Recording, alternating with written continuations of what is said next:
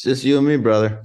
That's right. That's right. So so look, you you were out doing events, hosting small small uh, groups of people. Uh, I remember seeing you here in Seattle um, with a few CROs and um, uh, and, and and and and teaching, you know, teaching, dropping some knowledge. So, what what are you seeing? Like, what are the things that are top of mind right now? Well, you know, um, not to be too doom and gloom, but uh, I can only relay uh, what I hear from the front lines. Yep. And it's definitely, you know, I think there was a period uh, at the beginning of 2023 through the first half of 2023 when people felt like um, I'm going to make the difficult decisions, I'm going to make the tough cuts, but but uh, it'll be over uh, by the end of the year, and then we can get back to you know the growth and the environment that we were used to from you know really ending in sort of like uh, the middle of 2022. I think you know the public market peak was November of 2021, but so there was this a little bit of hope uh, within the revenue community that things would begin to get materially better, and I think from Q2 to Q3, we've seen a little bit of improvement in terms of like B2B sales, but generally speaking, it's pretty it's pretty rough out there. And so so what am I seeing? I'm seeing um, you know, and uh, I had a slide in the in the presentation that I gave at Unleash, but Carta has reported that through uh, the first half of 2023, at least, net headcount in venture capital backed companies, or at least companies that are managing their cap table on Carta, has yeah. decreased steadily every month. So that means like the industry is contracting. I know that G2 reported recently that uh, the number of software companies has gone from 50,000 that are listed on G2 in like 2019 to 125,000 uh, as of this year. So the number of vendors, the number of solutions has uh, dramatically increased, while the efficacy of traditional go to market motions has really decreased. And so Jeremy Donovan released this data that uh, it used to take between two to 400 uh, aggregate touches to create an opportunity, and it now takes a thousand to 1400. Mm-hmm. So the problem is that traditional outbound, as it's been defined over really from 2009 to you know 2023, is showing material signs of fundamentally being broken. And the consequence of that uh, is and, and the meanwhile of course we've got you know uh, higher interest rates we've got jerome powell saying that interest rates are going to stay higher for longer than people want and we're i think we're in a sort of a period of almost capitulation. There are so first of all i talked to a lot of people that are out of work right? There's a lot of revenue leaders that are just out of work. Uh, there are more fractional revenue leaders than at any time i've ever seen. You know it sort of feels like everybody's trying to be a consultant because people have been burned by trying to be full-time employees. It doesn't mean it's still most people are trying to do that but i think the number of fractionals has ma- has materially increased. And um, and valuations are down as we know. And so the consequence is we're moving from this period of growth at any cost to i mean we're in it to growth to efficient growth. Efficient growth just means uh, and efficient growth really means especially for you know early stage founders it, what the, the, everybody nods when they hear that but that what they don't understand is yeah that means you're probably efficient growth means you can't spend all the money that you have to try and triple next year.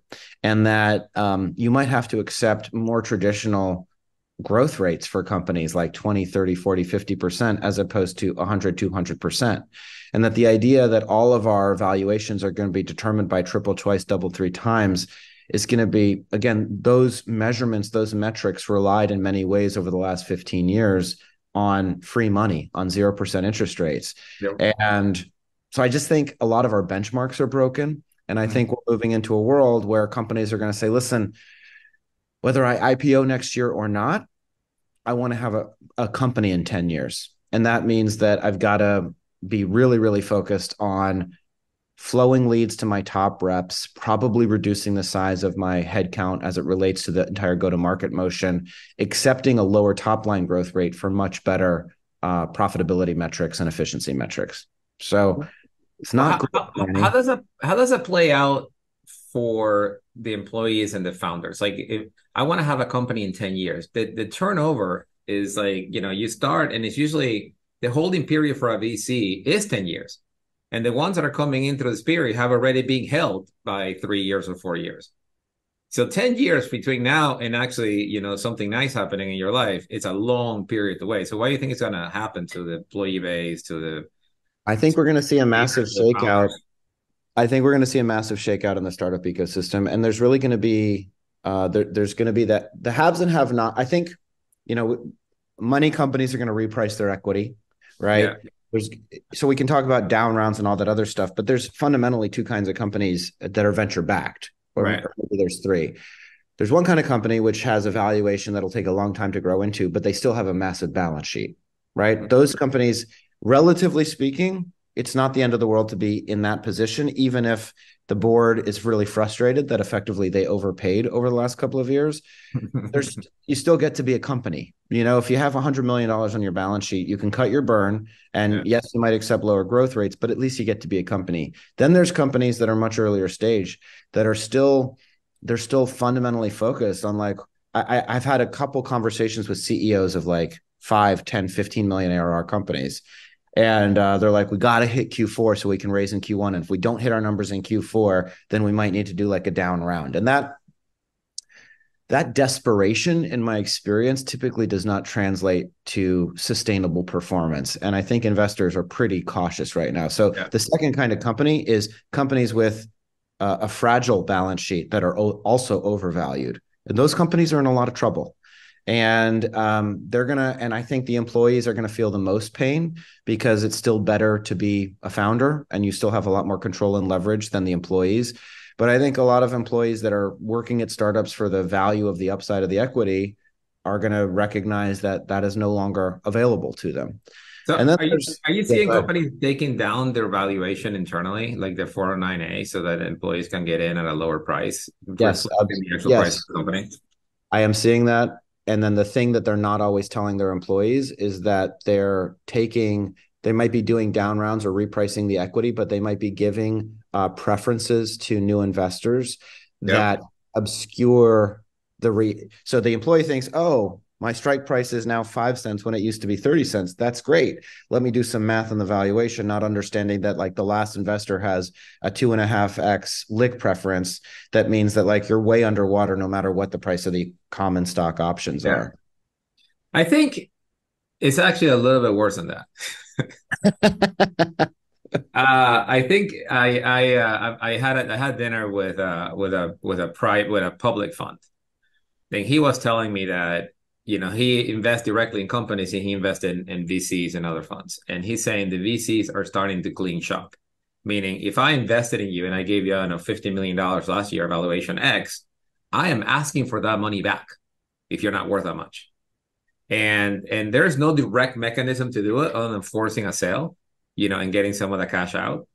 But it's not it's it's it's a bit more dire than than meets the eye because look if you are if you're a hedge fund, if you are a VC and you put, you know, money into something that is really not that value that much, and you get to go to the board meeting every quarter to remind yourself, you know, how how over much you overpaid, those are not like great conversations. You know what I mean? Like you're not talking about a viable business in 10 years because the VC does not have 10 years, or like the hedge fund does not have 10 years. They may have five. You see what I mean? So they're I, I only want to underscore what you're saying because I have a real life anecdote from when I was in Seattle. I won't say more than that, but literally the company was actually performing well and they were hitting their growth targets. And the VC said, "You're just so far out of the money. We're shutting this whole thing down." And it was it was wild. Yeah, and they and they weren't even there. There wasn't an I and it was some really weird board dynamics but that's the other thing that's happening because this is going up and down the value chain. So it's not just companies where vcs are in trouble too. You know their lps their shakeouts at and there's a meaningful argument to be made or or a significant argument to be made that growth equity investing is is permanently or not permanently but materially uh hobbled you know is is impaired. Yeah I, so there's lots of activity in seed and pre-seed, but but there's a lot of growth stage funds, and I'm sure maybe some of the folks that you were talking to, and you know Tiger Global and the hedge funds that that were writing massive, massive checks for Series B and Series C, and they're taking massive, massive write downs, and there's there's also going to be fewer GPs. There's going to be fewer funds, um, which you know makes it feel like the thing that I come back to is, you know, Fred Wilson always talks about how there's like a, a capital the the size of the uh you know the total assets under management for the venture industry is not correlated to the number of great companies that are created. And that the number of great companies that are created is fairly static on a year over year basis but the amount of capital is not static. And so there was just company there was money sinking. Too many companies too many average companies too many bad companies and we're dealing with the fallout. The um the, the, yeah it's really interesting I, I think that we haven't seen bottom yet and and uh, I think we still have to brace for more more of what you said, and I think it's going to come in all at once. And you know, it's funny because I was I was thinking about writing about writing a look a blog post about this uh, or a LinkedIn post, in that I get a company pitching, I get a company pitch per week, and sometimes two per week.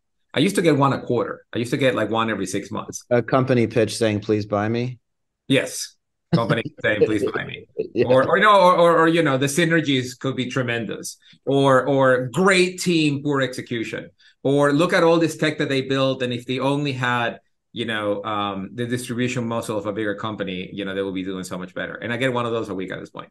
And it's really interesting because i was going to write a post saying hey if you have great tech go sell it like go like go find customers like there's no such thing as a free lunch and selling is hard it's harder now than it was before i know but it's a it's a the worst time to sell is when everybody else is selling. So if if you have a praying hope of staying around, go stay around. Like there is this is not a great time to sell. The VCs or or or some or, or your take take away the, the name right like the, whoever funded you is treating you like a trade.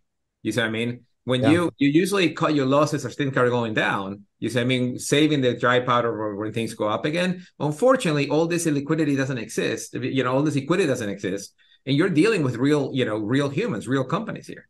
So the uh, there's there's no such thing as just paring down the losses of the of the people who are not performing. If you have good tech go save you know go save yourself by selling some more.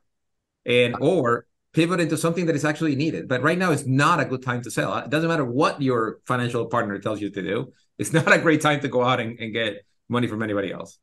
100%. And, you know, it's always human psychology. The fact that you want to sell is probably an indicator that it's a bad time to sell. Exactly. Because when you don't want to sell and you have an asset that you feel is worth a lot, that's when people are interested. And even for my company, you know, we raised money two years ago and spent it foolishly and immediately became an unprofitable business.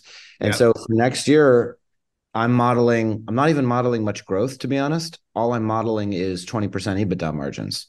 I'm just saying, whatever we need to do to be profitable, I can't focus obsessively. Like, there's no market, slow growth, burning lots of capital. It's, you know, to the point of, you know, your advice to those founders, they might say, oh, it's worth like X. It's like, no, it's worth zero. It's, it's worth not zero. worth anything at all. Yeah. So like you have to find a way to survive. I completely agree with you.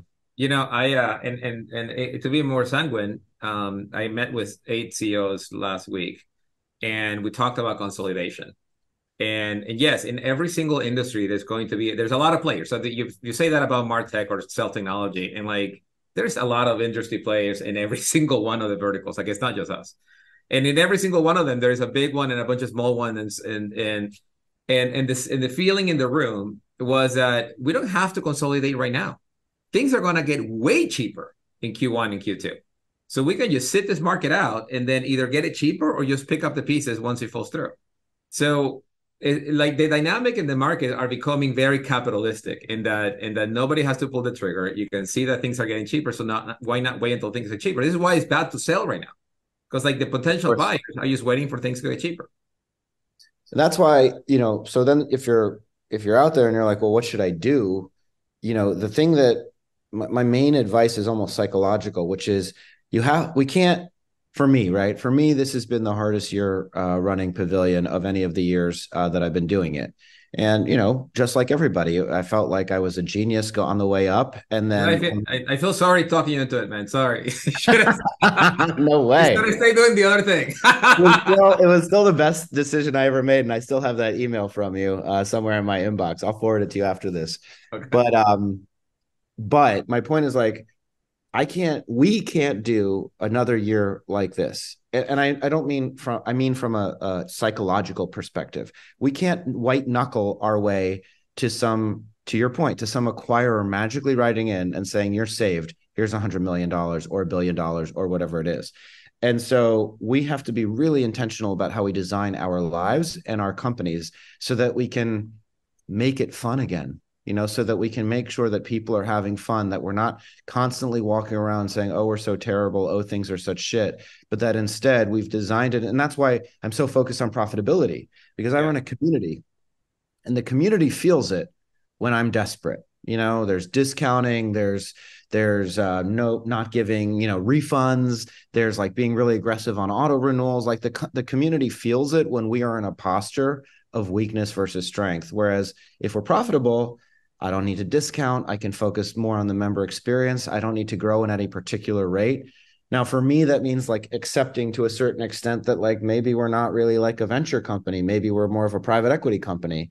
But again, the, the bottom line for me is like if I'm profitable, I don't have to worry about any of that because I don't face an existential threat of having to shut down, you know, in the next six to nine months.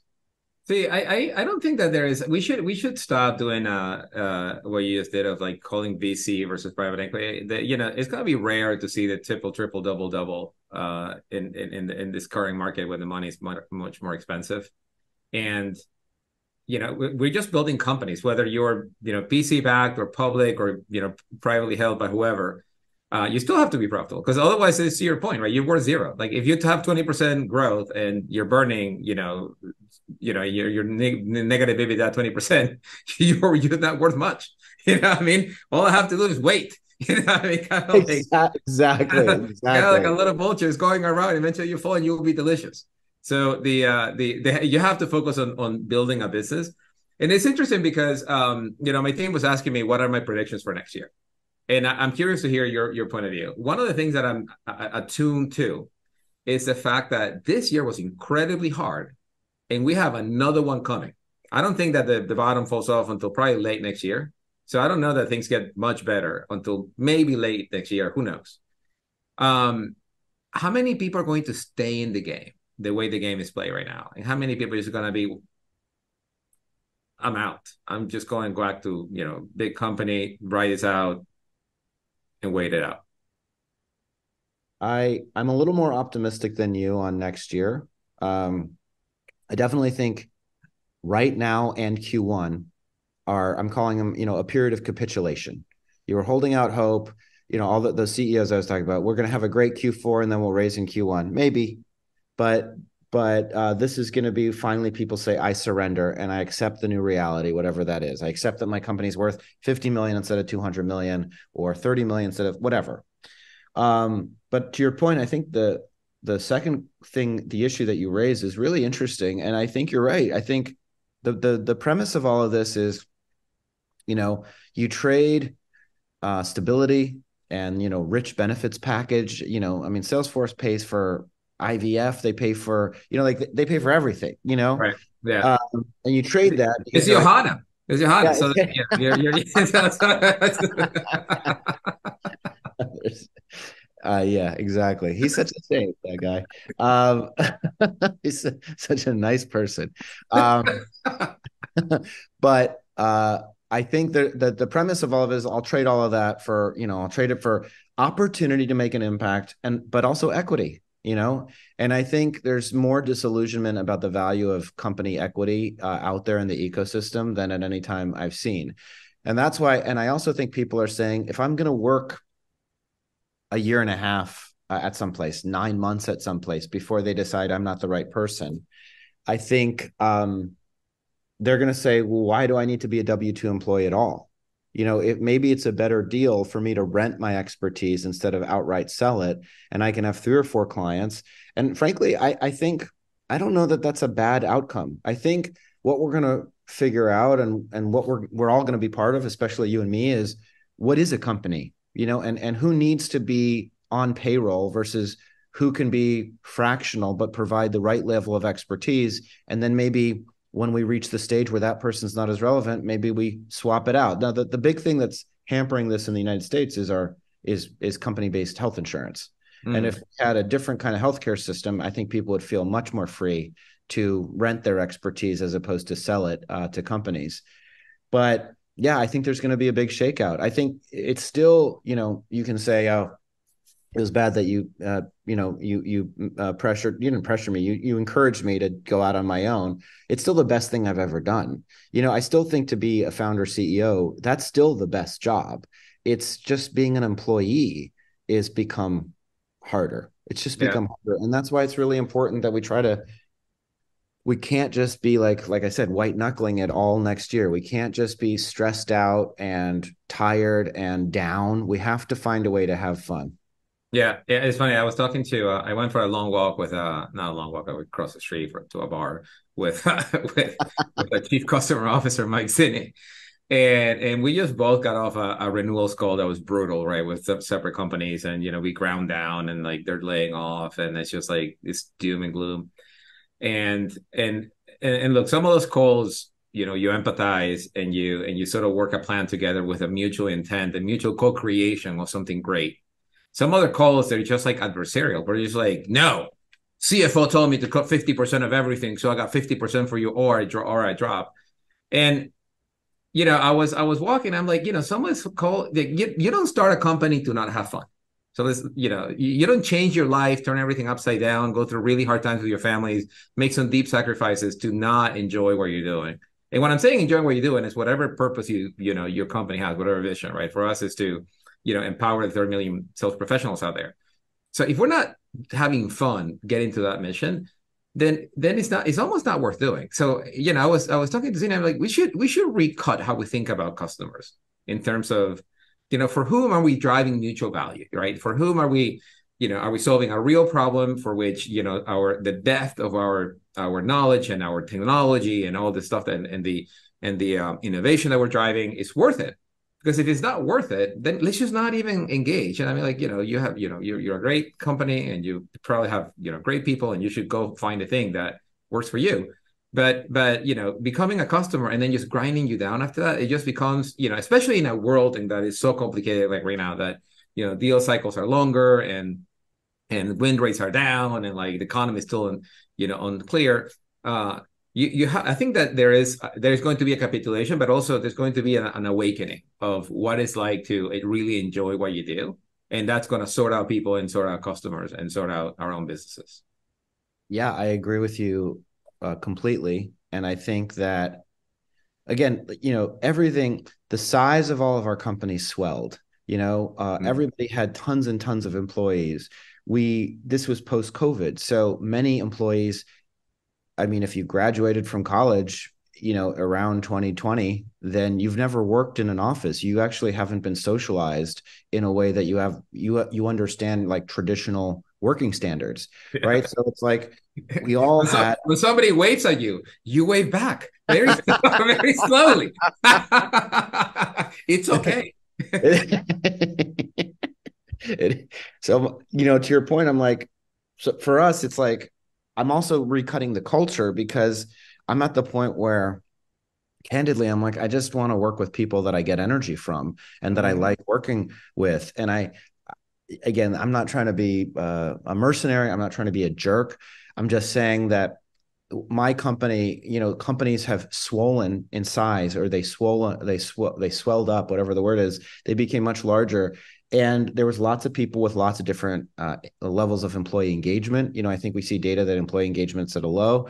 And i just think like to make it fun we have to we we just have to really be specific on who we want to work with. And we have to really hold a high bar. And i think it will be more fun if we feel really really good about all of the people that we're surrounded by in our organizations. What kind of uh in, in the go to market organization what is the what is the site profile of the individual and the leader that is going to do well over the next 12 months and is it the same that we had over the last 10 years well i think it's the so let's think I think the general profile is um, there's just so much less room for BS, right? And so, like, uh, this doesn't mean that you still need to learn how to delegate. You still need great leaders that set a vision and that empower their teams. But I just think it's the the bar for at what level you're expected to do some of the work yourself is much later stage than it ever has been. There's much less room for ideas without execution, and um, because there's going to be fewer resources available, so everybody is going to have to pitch in. So I think that that's the kind of leader that's going to be i don't know that that doesn't necessarily mean a cro has to you know do a lot of individual selling on their own but they need to be deeply involved. They need to know the pipeline backwards and forwards. They need to have a really keen sense of what's going on. That's number one. And then number two is you know it's this it's kind of like this p&l fluency coupled with creativity. It's like mm-hmm. if you look at your unit economics and they're not working that does not mean try I I was at a summit this week, and the CRO, who you know, was saying uh, we were doing 100 dials a day and it wasn't working. So I made them do 200. And now we're doing 200 dials a day. and I'm like, there's a limit. There's, I don't know that this is the best way to approach it. Like, we can't just, my phone can only ring so many times a day before it's really not that useful anymore uh, yeah. to do cold calling. I'm not saying cold calling is dead. I'm just saying there are other channels and other paths to revenue and the creative revenue leader is going to be really open to adopting them and really open to experimentation and really open to understanding and, and, and also messaging to you as the ceo manny that hey like i don't know that i can hit that plan with those growth targets. I can hit this plan and the benefit of this plan is that it costs half as much. Right. now we're going to give up 10 points of growth but it's going to cost half as much. And us the ceos and founders need to be open to that. The final thing i'll say related to creativity is it's just hmm. who are the people that are really that are really experimenting with new tools and technology. There are so many interesting new tools that are being developed. In some ways, it's sort of like the golden age of the tiny software company.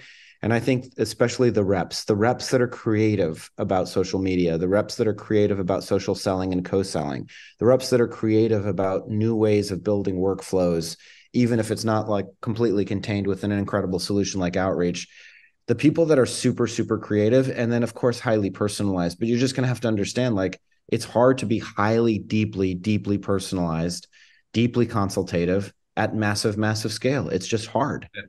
So i i, I think that you know there's two things there that that i i'm on both sides of the, the argument. I don't think that that outbound or is is fundamentally broken. I think that the way we have done in the past is fundamentally broken for sure.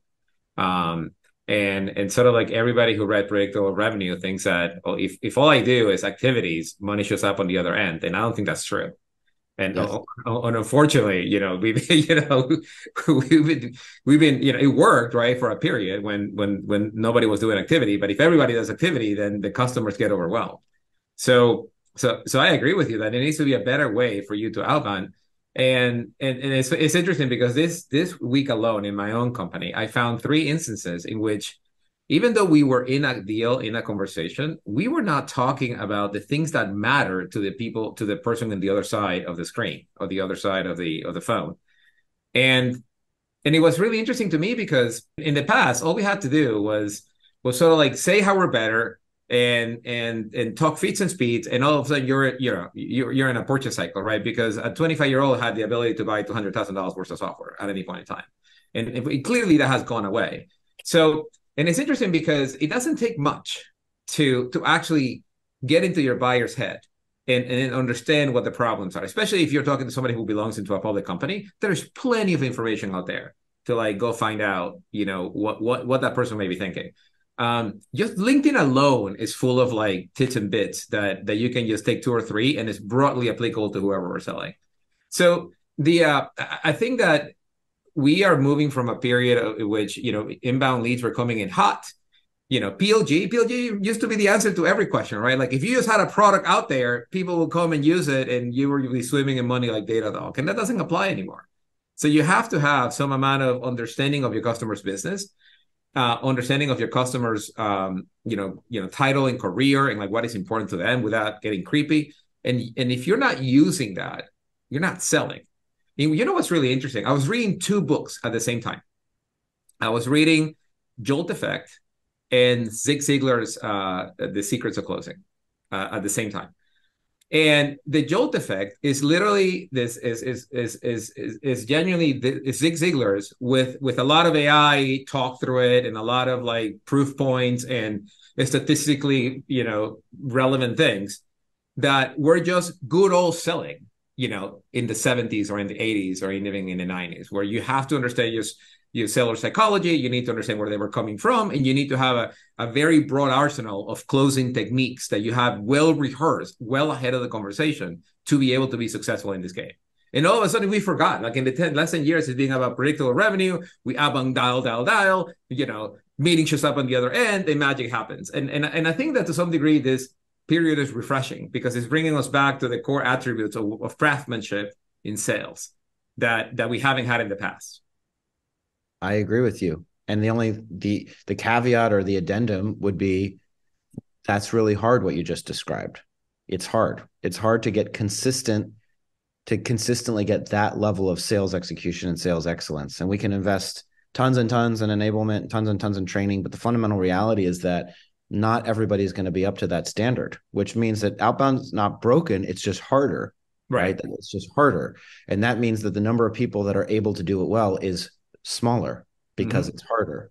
And that obviously has an impact and on our headcount and you know and and how we think about the size of the organizations that we need in order to achieve our growth. And that's why again why you know one of the things one of my talk tracks is hey like let's make sure you understand uh, because one of the numbers by the way that has improved at least based on anecdotal conversations i've had this year is rep efficiency. Well why is that? It's because we're sending better leads to a smaller number of people that we trust to close at a higher rate. And so all of a sudden, the smaller number of people are generating more money than a much larger number of people. And I think that's hopefully that's eye opening for for people, especially for for people that are building and designing organizations. That I, outbound's not dead; it's just harder. That's right. all. Right.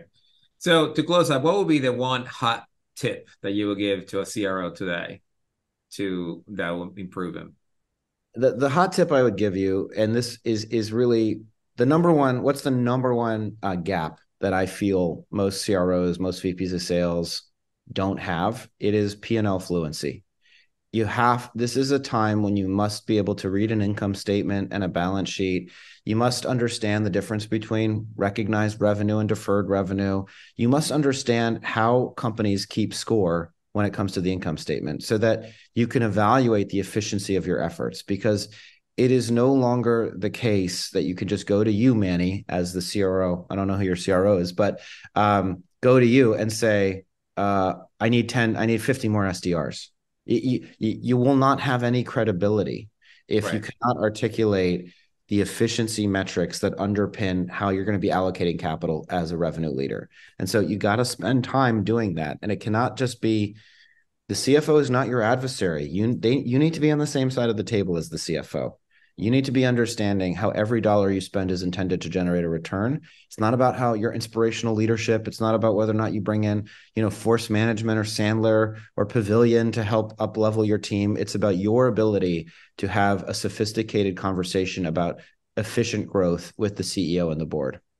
Amen. What a great, what a great point to end. Uh, well, thank you so much, Sam, for the words of wisdom. As, as you know, you are the uh, the industry bartender, so you get to you get to hear a lot of you get to hear a lot of every lot damn of, day, my brother.